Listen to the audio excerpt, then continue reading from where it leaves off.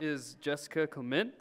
She is the director of the Collaborative Program in Natural Resources and research scientist in human dimensions in natural resources at the Ruckelshaus Institute of Wyoming Institute of University of Wyoming. She is a scientist, practitioner, and teaches in the fields of human dimensions in policy and natural resources. So, welcome.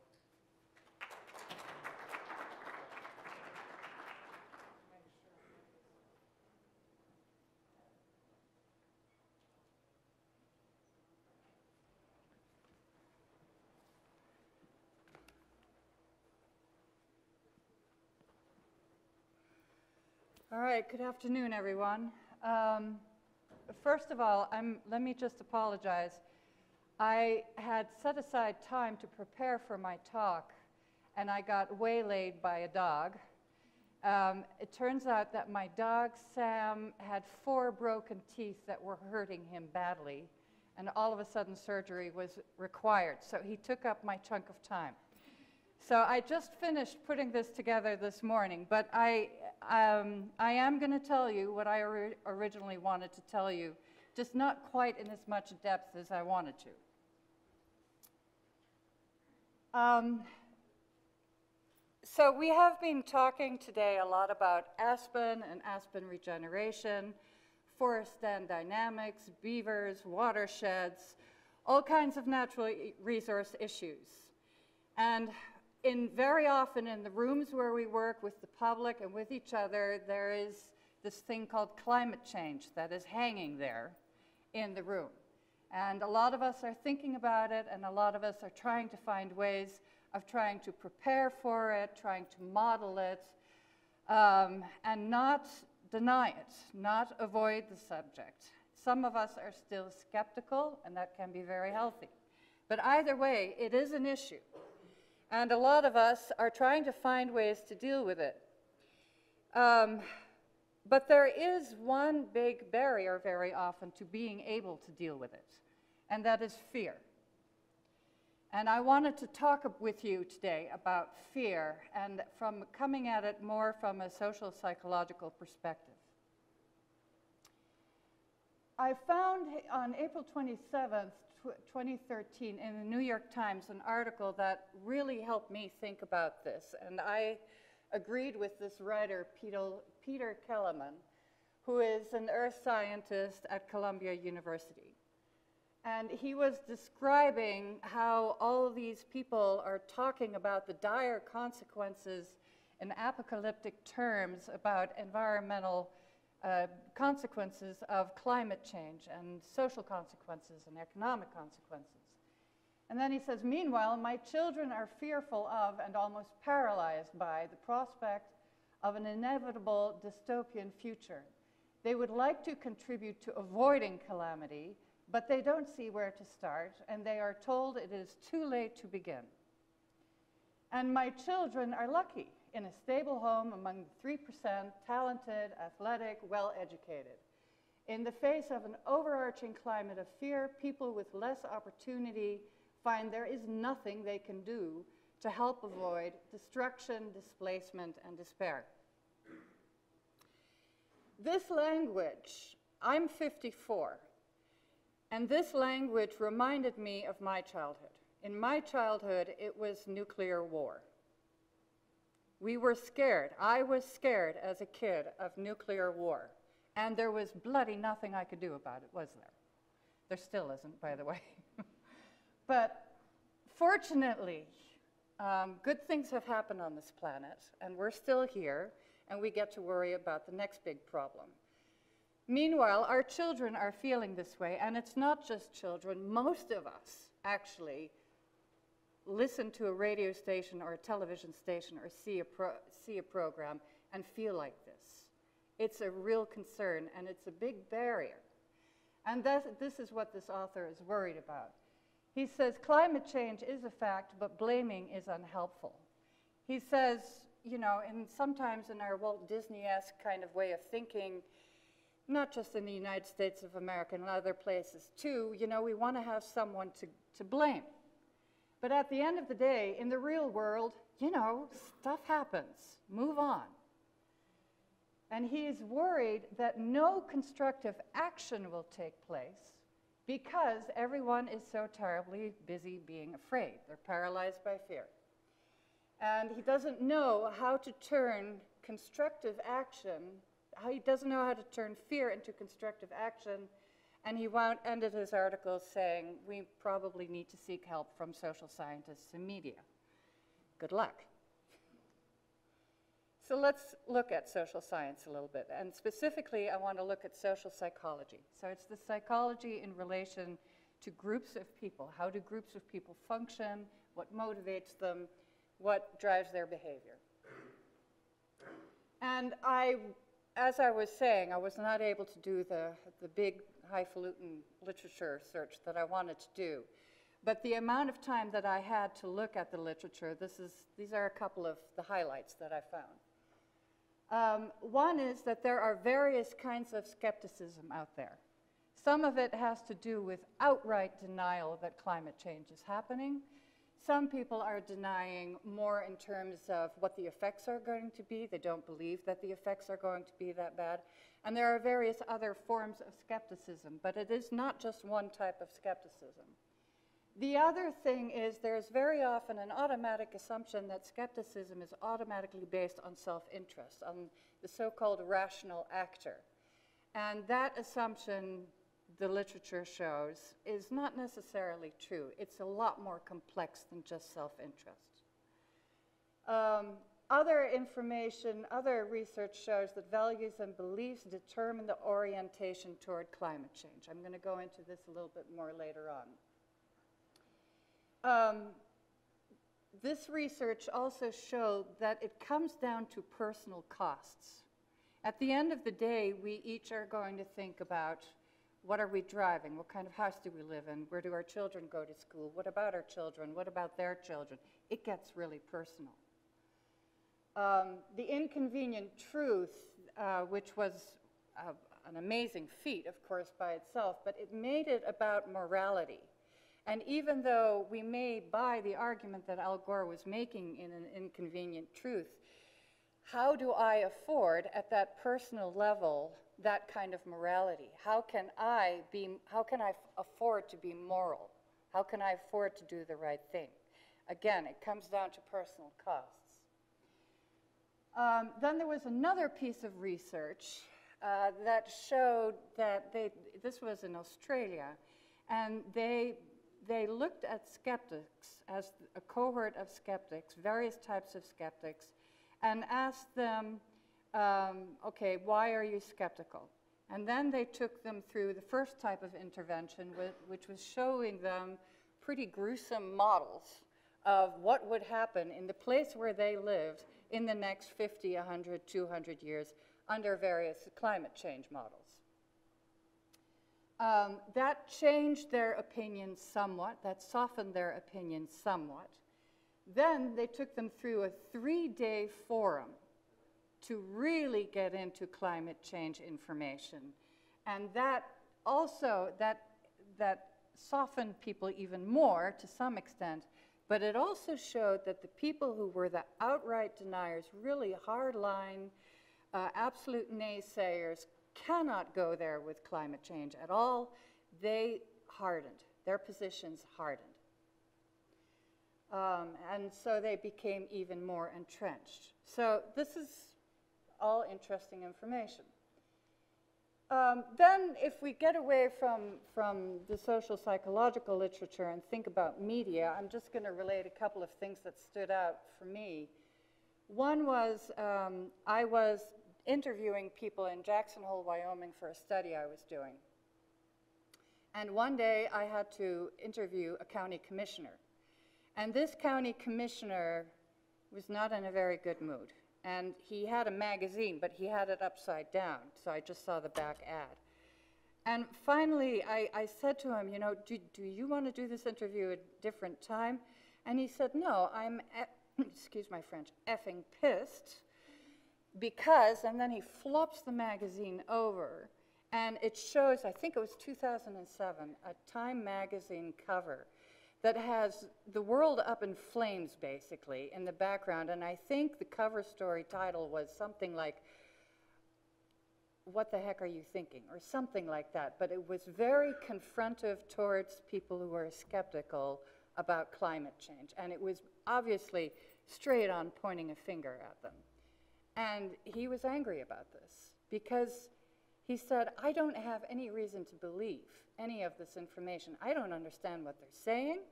Even if they're right, what the heck am I going to do? He could rattle off a whole list of questions why he didn't feel like he needed to believe anything and why it made him feel disempowered. So basically, what I had in front of me is a man of good sense who was scared, just really scared. So I rather thought that that Time magazine effort was pretty darn unhelpful. Um, then I also have the memory of Al Gore doing a presentation in Aspen, and Greg, you may remember this. Uh, at the end of his presentation, Al Gore, and maybe he felt safe, you know, in the Republic of Aspen, but he was, he was basically calling anyone who didn't believe what he was saying an inconvenient truth, he was calling them a bird brain. Well, I didn't think that was very helpful either. So that's was my second example. And then uh, Peter Kelemen in his, ar- in his article talks about his, his worry that, social, that scientists, climatological scientists, other scientists, are very quick to start describing the terrible effects of climate change and use very strong language to use that because it gets them attention and therefore funding. Well, that might be a little too cynical, but there is, I hear his point. But altogether, the whole picture is something that will create fear. And it will disempower people. It will, it will just make it impossible for them to move into that kind of action. Just a little psychology that I, that I was thinking of um, is that, you know, climate change has happened before. Um, but we didn't even we didn't know it was coming and we didn't even really know it was happening you know at, if you look at any time time scales there have been massive changes in climate while homo sapiens was roaming the earth it but it just happened and we like any other animal simply adapted found ways to survive um, the other thing is climate change has happened before, but we didn't know it was affecting the whole planet. It was happening in this place, where, wherever we were, whether it was India or England or the United States or whatever we were called then, if we had a name. You know, it just it happened in this place. We didn't know it was happening all over the world. We didn't even know there was a world. We didn't know there was. We were on this round ball, you know, spinning around up here. Um, so, in other words, we know so much more. So, there is that much more to be afraid of, and there are that many more reasons to feel disempowered. And psychologically, we, our brains, are not adapted to be able to handle things of this magnitude. It's a tall order, it's a big stretch. It is understandable that we are going to feel afraid. Okay, now let's turn this, let's go into the direction of something more positive. So there we are, we're afraid, fine. In social psychology, there's something called cognitive hierarchy theory. And basically, what it says is at a very rock bottom, we have our values. Values don't change very much. We don't, we're not very good at articulating them we have them, and through the lens of values, if you orient our values towards any subject, we are going to have beliefs about that subject. We are going to have attitudes about those subjects, how we feel about things. And then ultimately, we are going to behave. Economics is a type of behavior, ultimately. How, if you're studying the world of economy, you're looking at the end of that cognitive hierarchy uh, is the way we spend our money. So if we want to get to action, as Peter Kelemen was talking about in his New York Times article, we first have to understand values, beliefs, and attitudes. We have to understand where people are coming from. The good news is social scientists are all over that. They're working on that all over the world. Um, basically, we can say there are two main ways of thinking about values.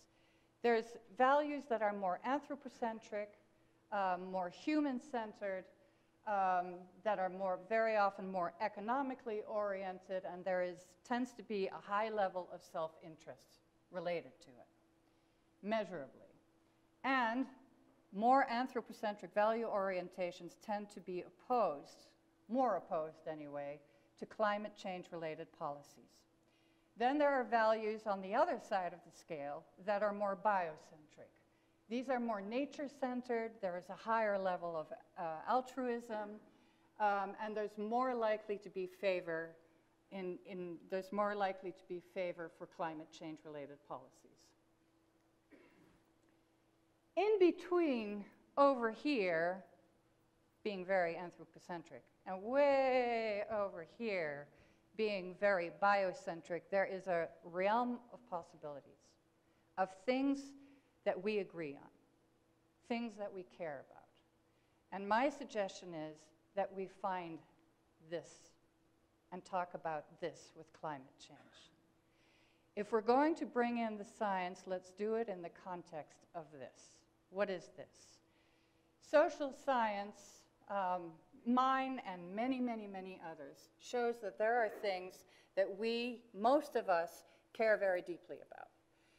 Uh, one is, from a natural resource standpoint, wildlife. I have had the good fortune of doing social science in relation to all the forests in Wyoming, most of which in a forest planning context, and I can tell you that in Wyoming, wildlife is everything. It is absolutely everything. It is why people live there. Um, and if we do things in the context of wildlife, it is going to be a way for people in Wyoming to be able to sit still and listen because it is an interest that everybody in the room is going to have. We can make it also about children. We all love our children. We are, in a, in a climate change context, concerned about our children. Um, we can make it about landscapes. We are increasingly talking about landscapes and natural resources, which is completely appropriate, and more of us understand that everything is connected and that it is. Talking about a landscape scale makes the most sense if you're worried about mule deer, watersheds, beaver, children, community, you name it. It's all in the context of a landscape, and that makes sense to us. And we, make, we understand the future. We want there to be a future, and we want it to be a good one. So these are just some subjects that is in the middle over there that I would suggest if we're going to talk, and we have to talk about climate change, we have to. There's no doubt about it.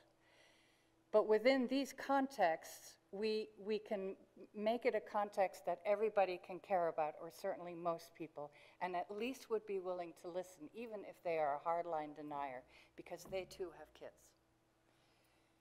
Um, the other thing I would suggest is use principles of adult learning theory and systems thinking.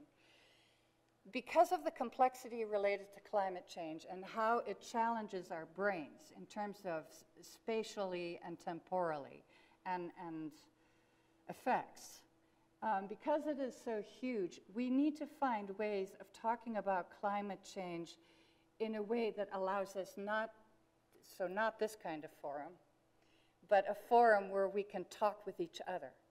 Adults need to be able to take in complex information, process it, and then spit out questions and thoughts. Uh, we need to talk about systems thinking, thinking in the large picture. We need to have patience with different levels of fear, acceptance, and denial. So someone is a denier. They need more time. That's all there is to it. Uh, use collaboration, uh, include transparency. Communication skills are going to be very important for all of us.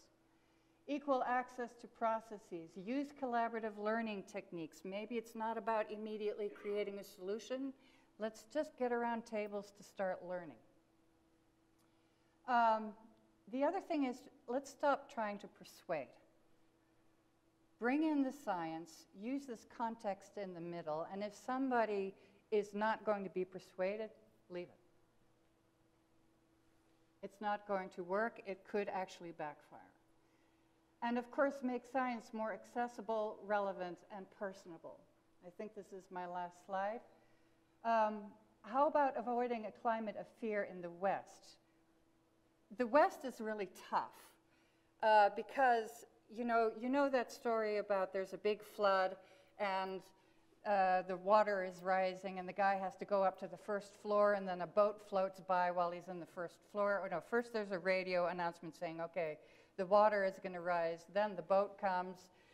He doesn't want to take the boat because he's very sure that God is going to save him. And then eventually he has to move up to the roof. And then a chopper in the middle of the night wants to take this guy off the roof, but he says, no, no, no, no, leave me because God is going to save me. The waters keep rising. The guy drowns. He goes to heaven, is at the pearly gates. I, by the way, I got this joke from the, the chair of the theology department in Harvard, so no, no disrespect intended. I feel I can do this. um, so then, so then the guy is standing there at the pearly gates in front of God, and, and, and God is sort of like, yeah. And he says, Well, I thought you were going to save me. And God says, I sent you a radio announcement, I sent you a boat, and I got you a chopper. I don't understand why you're here. Here in the West, we have kind of the same thing. We don't have big oceans, we don't have Sandys and Katrinas. It's far more subtle out here in the West. It's droughts, it's fires, but we always have droughts, we always have fires. So it's a lot tougher to recognize here. Um, so again, make it about community. Make it about our communities, our landscapes.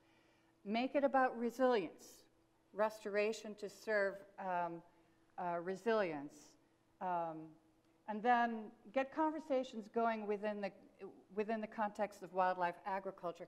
Maybe you're not at, in a room, maybe you're a hydrologist and you're talking about watersheds.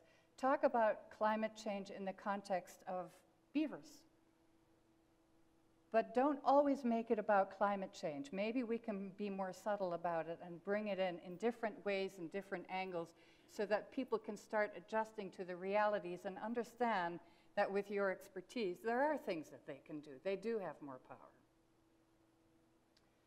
Um, and then the other thing is, on the, other, on the one hand, we don't have any time. We're in a mad rush to deal with this. And yet we have to give us Homo sapiens time to process this the more time we give them, I think, in the long run, the faster they'll be able to come on board and start creating that action. And this is my dog thanking you for not quite getting the presentation I was hoping to give you.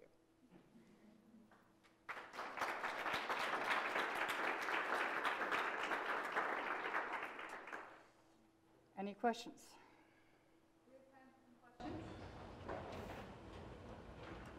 Or any thoughts, or am I naive? Yeah. I've sat through this, uh, Restoring the West, uh, a few sessions in the past, and I never hear anybody talk about overpopulation. And that, I think that's one of the things that has to be addressed. I would completely agree with you. Um, We never talk about it. Any kind of particular type of overpopulation you're thinking of? Too many people, I think out here in the West, uh, it's, it's, it's too many people, but that's a global kind of conversation too. Yeah. No, but I think you're right. Would you comment a little bit on the use of the terms uh, climate change versus global warming? Um, it's my understanding, and I read this in a book some time ago, I don't even remember the name of the book, but the suggestion was that sometime during the Bush administration, we stopped talking about global warming, instead, the Bush administration started referring to it as climate change. What is your advice on how we use those terms? Well, I'm not a climatologist, but my understanding is that um, climate change may be more accurate. If someone else wants to disagree with me, please do. But um, I think the, the way climate is changing will have different effects in different places. Some places are, are going to be cooler and, uh, or wetter, and other places are going to be warmer and drier. But it's not that necessarily everywhere, all over the planet, it's going to be warmer and drier. It's not necessarily going to be global warming. Additionally, my understanding is that it, it's, it's likely to go through different phases in different places, where there is first maybe cooling and then warming, or first warming and then cooling. So climate change may actually be more accurate. If you're trying to talk over a very large scale, climate change might be more accurate. That's my understanding. Actually, I was, was asking about is, what have you learned about how people respond to those two different terms? Should we be avoiding, for example, the use of global warming because it elicits um, a defensive posture right at the outset? You know, I, th- I think if, if someone is going to be defensive, they're going to be defensive no matter what you say, quite honestly. Um, and then at the end of the day, I would say let's, let's be as accurate as possible. And if in, in, some, in some place it's going to be a warming, talk about warming. But if you're talking about on a, on a global level, I would say, I think climate change would be more accurate. So that would be the best way to use it. But at the end of the day, if someone's going to be defensive, it doesn't matter what you say, they're going to be defensive. One of this morning's speakers had global change any comment about that? Yeah. no, it's absolutely going to be a global change. Um, I, I like it. Yeah, they're, you're moving away from the whole climate thing and just going into global change. I think that's a great idea. Um, but what it does is it kind of avoids the original reason why we're having the global change. And I don't suggest that we ignore that either. So for now, I would suggest climate change. But it depends also, Darren, what context you're talking. Yeah. Just another comment. Uh, Recently, there was a poll uh, where people were asked, what, what are you worried about most, Obamacare or affordable health care? And people uh, mostly were worried about Obamacare. They're the same thing. Exactly. All right, thank you very much.